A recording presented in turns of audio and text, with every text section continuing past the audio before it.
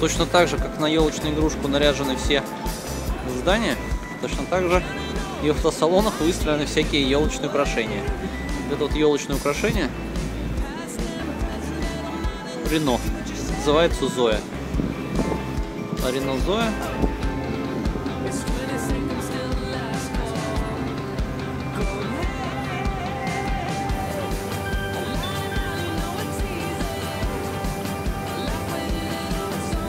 сожалению, написано не трогать и не забираться. Меня больше удивляет джойстик вместо системы управления.